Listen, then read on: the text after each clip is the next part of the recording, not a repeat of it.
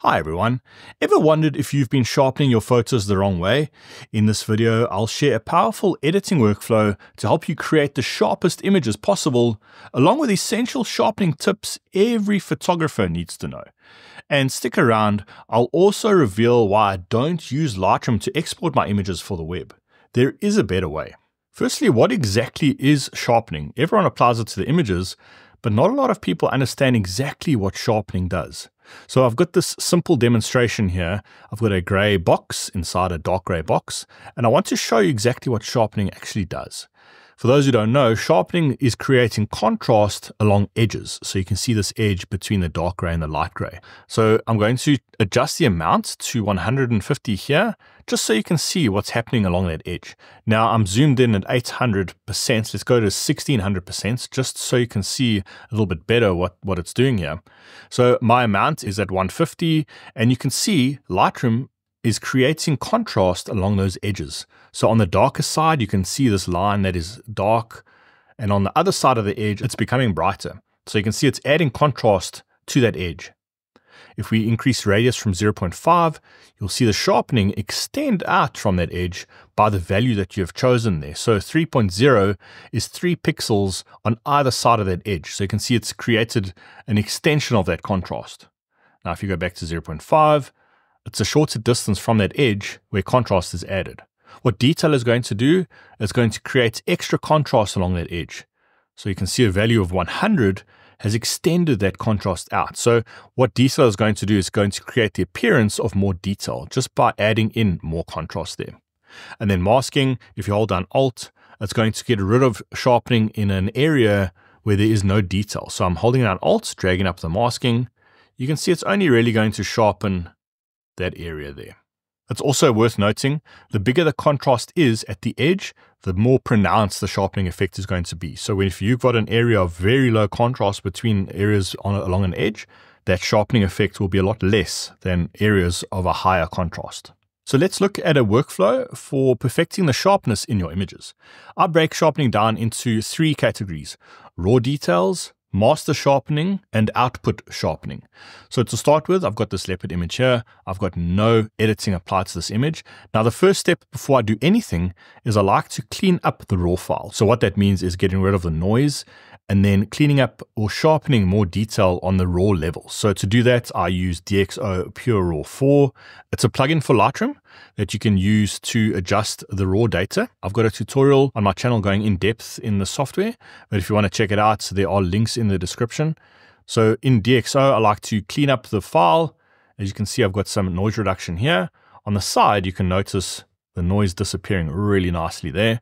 And then I'm also going to sharpen up the raw detail here just by using the lens softness compensation. So I'm probably going to use standard here, and then I'm going to get rid of chromatic aberration and then process the file back into Lightroom. That's going to create a DNG file for me to work on, including all the raw data that I got out of the original Nikon RAW file. If you don't want to use a third-party plugin, Lightroom's AI denoise is really, really good. So I'll show you that quickly here. I'm just going to go back to my original RAW file, click denoise, and let's just go to an area that is out of focus.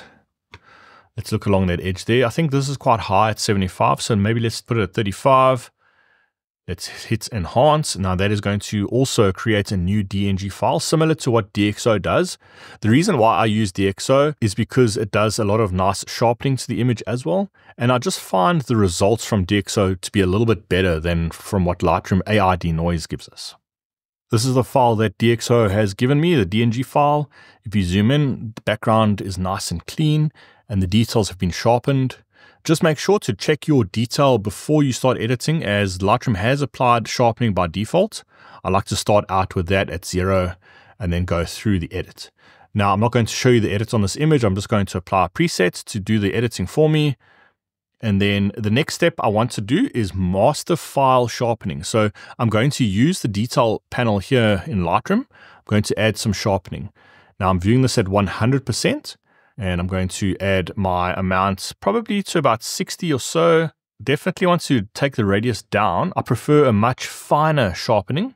If you take the radius up, you can see it's getting very apparent that you're adding sharpening. So I'm going to drop that down to 0.5. I use 0.5 on every image. Detail, I don't like to increase detail too much. You can if the image is a bit soft, but I generally maybe keep that at about 10. And then important here, you don't want to add any sharpening to the out of focus areas. You only want to add sharpening to the detail in the image. So I'm going to hold down Alt and I'm going to drag this masking here. And the value probably of about 20 or so, 25 does the trick.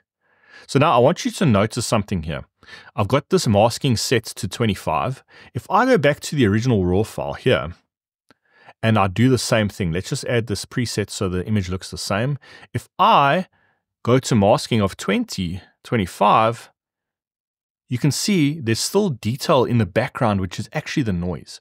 So by removing the noise in your image, you're able to use a lower masking amount, which is going to help sharpen more of the image. Now, if I had to use masking on this image here without cleaning up the noise, I would probably have to go to about 50, maybe 55, and you can see there's less of the image being sharpened. I'm potentially removing sharpening from areas that should be sharpened. But now with a denoised file, just at 25, I'm not sharpening any of that out of focus area in the background there. So that's a massive advantage for sharpening on a cleaner file. So let's just compare the AI noise to DxO. And you can see on the left-hand side is the Lightroom denoise, and on the right-hand side is the DxO denoise. So you can see there's a lot more detail that's been captured through the DxO software as opposed to what Lightroom has done. Lightroom has taken away the noise really well, and it's pretty much the same as the DxO one, but the sharpening on DxO Pure 4 is far superior in my opinion. Now, once I have set my sharpening on my master file, now I want to export this for the web. Now, let me explain why I don't use Lightroom to sharpen images for web. When you sharpen your image using the export dialog in Lightroom, you've got a sharpening setting here, output sharpening, but there's no option there to sharpen specific areas. Now, if you use this output sharpening, it's going to sharpen the image quite well, but it's also going to add sharpening to the out of focus areas. Now, if you really want to get critical sharpness and, and image quality for web, I highly advise you to not use Lightroom to do that. What I'm going to do is going to move this file into Photoshop and I'm going to sharpen rather using a set of actions that I've created. Now, this is going to easily apply a custom sharpening technique that I've developed. So let me run through one of these, for example. These actions are available on my website. There's a link in the description below. Now, let's say we want to export, let's just say at 1080 pixels on the long edge. I'm going to hit play. That's going to duplicate the file and it's going to add my sharpening action to it. So you can see I've got this layer stack here. Let's just turn these off to show you what's happening. The bottom layer is clean, that's unsharpened. And then I've got a group here, which is going to sharpen the image. I've got two layers, one layer sharpen, one is sharpen extra. And then important to see here is I've got a layer mask. Now that is applying a mask using the subject selection on the image. Now, what that's going to do is going to allow the action or the sharpening to only be applied to my subject and not to anything that is out of focus or not part of that subject. Now, obviously, Photoshop may struggle to detect what the subject is, but largely it does a good job. But what you can then do if you want to further tweak the subject selection is you can click this mask and with a black or white brush, you can add or subtract areas from the image that you don't want to be sharpened using black or with a white brush, add in areas that you want to be sharpened. So if I just hit Alt here and click that mask, you can see everything that's white is going to be sharpened. Everything that's black is not going to be sharpened. Now we don't want to sharpen the out of focus area, the back of this leopard here. We don't want to sharpen this foreground area and maybe the top of the head we don't really want to sharpen. We just want to sharpen those details there. Now, what Photoshop allows us to do, it allows us to add or remove the sharpening effects just by adjusting the opacity on a layer.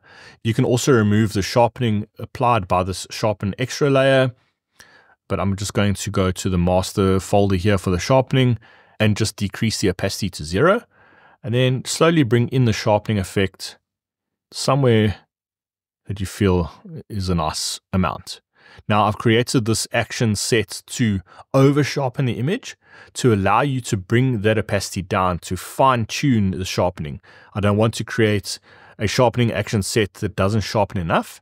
So I've overdone it a little bit and you can then just customize these layers and the opacity to then fine tune the sharpening on your image.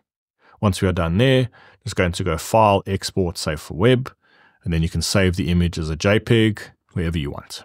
Sharpening is a critical step in photo editing that's worth perfecting. Equally important is achieving the right contrast in your images. In this video, I'll share powerful techniques to enhance contrast on your wildlife images in Lightroom.